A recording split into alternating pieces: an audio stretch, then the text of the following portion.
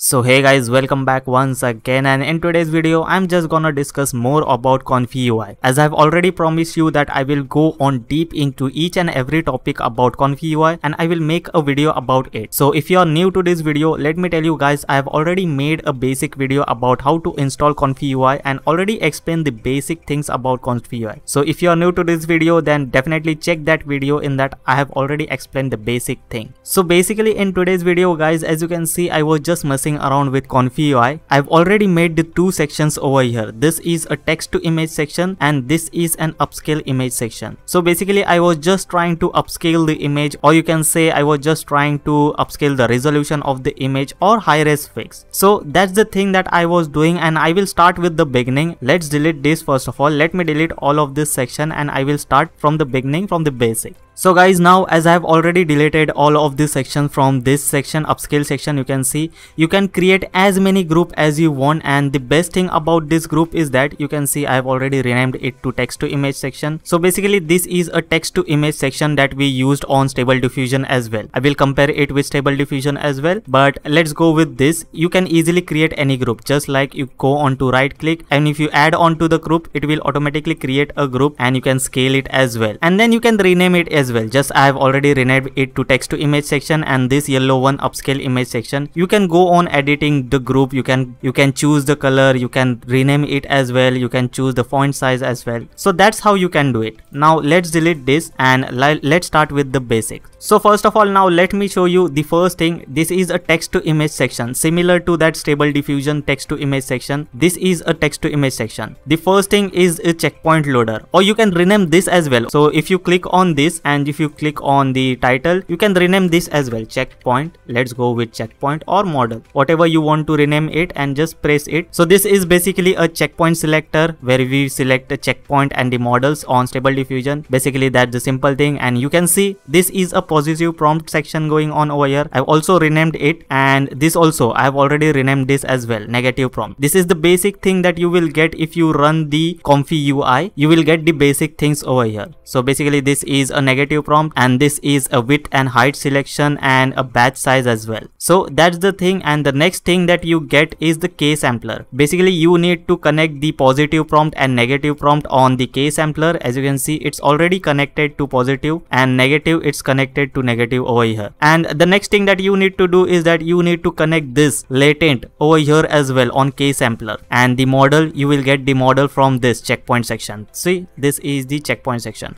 So basically all of the four are connected to k samplers over here and you can decide which sampler you want or you can set a fixed seed as well random seed as well. Samplers over here scheduler schedulers are basically normal. I don't know what is this. I will go into detail but these are the things that i am selecting. So basically this is the settings that you do on stable diffusion just like this setting CF, cfg settings sampling method settings sampling step settings and all of these things. So you can say that's the k sampler. And the next thing is vae decode. This is the important thing that you need to add first of all in order to generate the image. And then the final is the save image window where you will get the final result. So basically as you can see this was the group that i have created already. I have already named it. This will be the basic group that you will get a text to image. I have already named it. And now guys let's generate one more image in the text to image section as well as i have already selected 512 by 512 resolution over here. In order to generate you just need to queue on this prompt. Just click on this and it will start generating the image. So now let's generate and let's see what result do we get so guys as you can see this is the result that I got after generating. And if I show you the result let me show you. This is the result that I got. As you can see it's 512 by 512 and 365 KB of size. So if I show you this is the result that I got. Yes definitely we are not considering the result. Let it be whatever it is. So that is the result that I want. And what if I want to upscale the image? So in order to upscale the image first of all you need to add another thing over here so what we will do we will try to add first of all latent upscale over here. So in order to add the latent upscale you just need to right click add node over here. And in that node you can go on to latent and just select a latent upscale over here. So you will get a latent upscale. And the next thing again what we want to do is that we just want a sampler once again for this as well. So in order to like uh, upscale the image. And the next thing that you need to add is the k sampler. Similar to this this is the next thing that we will add let's add the node and we will go with a sampling and you will find a k sampler over here. So this is the next thing that you need to add. And one more thing the final section. This is the final result section that you need to add. We need to add vae decode as well and we need to add save image as well. So in order to get vae decode you need to go on to latent and go on to vae decode. You will get vae decode from this section. And the last is the image section. Just right click add node and go on to image. You will find save image over here. So that's the thing that you need to add the last thing. So you will get the final result on save image section so now as you can see I have already set up all of this in the upscale menu. Now what we will do, we will try to connect all of these nodes as well. So first let's go with latent upscale. So first in text to image section you can see this was the setting that we used and this was basically the output. This was the main. If you if you consider this all of these four, this was the main base in order to generate 512 by 512 image and this setting. So now what I want is that I want this 512 by 512 image in order to upscale. So what I will do the output of this image like the K sampler output of this image I will connect it let's connect it with this K sampler because let me explain you in detail once again. What I am getting from this 4 uh, window is that on this output I am getting 512 by 512 image. And that is the 512 by 512 result right but I want to upscale. So what I will do, I will just carry this 512 by 512 image into latent upscale. So that is where the upscaling will takes place. And what I will do in this, I will just increase the upscale value. I want it to like 1024 or any value you can go with. I will just go with 1024 by 1024. We have already set this 1024 by 1024. So that's the thing that we, we, we are doing. And the next thing, we will connect this latent into this latent image. The output of the upscale image will go on to this latent image. Now what is remaining here is that positive negative prompt and model as well. So where you will get this, you will get it from over here. So the first thing is that we will try to connect the model. The model is where you will get this model. So just try to connect this model over here and the next thing that you need to do is so what we will do we will just try to connect the positive prompt and we will just try to connect the negative prompt as well. So basically that we are already done with the k samplers over here. Then we will connect this latent into this sample the vae decode sample okay? So the last thing that is remaining is vae so where will we get? We will get it from over here from the checkpoint. And just connect the vae over here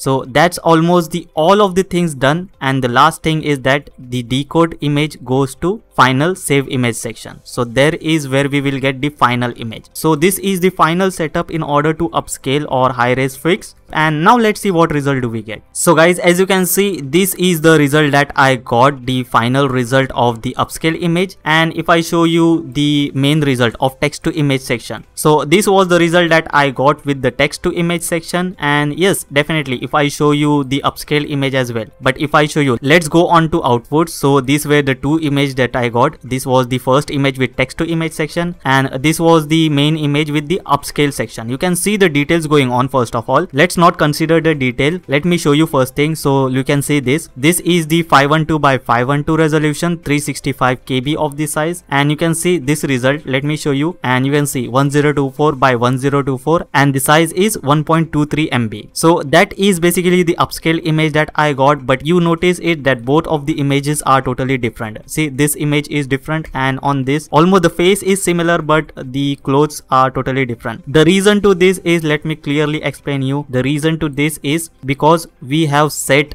denoising strength to max 1 so what I will do, we will just reduce the denoising strength to like, let's go with 0.8. Let's go with 0.8 and let's see what result do we get now. So now guys, as you can see, this is the second result that I got after reducing my denoising strength. So basically this is a text to image section image and yeah, this is the upscaled image. As you can see, yes, the result are same but as you can see now let me show you once again the result output. Once again this is a text to image result 512 by 512 362 of kb and this is upscaled image 1024 let me show you. Let's open this. So this is the text to image result. You can definitely see. And this is an upscale result. Definitely amazing result right? The details going on you can definitely see this is an upscale image. And the details pretty amazing and yes. So that's how you can go and upscale. Still the image is not that clear. And let me tell you once again guys i will go on to each and every topic as well. I will try to cover each and every topic on Comfy UI as well so that you can learn from the basic things. And yeah this is so amazing. I just love Comfy UI as well. This is just a stable diffusion automatic 1111 but yeah in the ui of node sections or something like node ui so yeah that's the thing that is going on. And i think that it is so interesting that you can go and experiment a lot on lot of things. So this video was basically how you can go and upscale your images and yeah i will cover each and every topic in detail as well. So that's it for today guys. I hope so guys you enjoyed the video. And once again if you haven't seen the installation and basic tutorial of uh, Comfy UI then definitely check out that video as well. In that video I have already explained in detail on how to install Comfy UI and how the basics are of Comfy UI so that's it guys and I will be back with more and more videos tomorrow. Till then have a good day. Bye guys. Love you all guys. Bye guys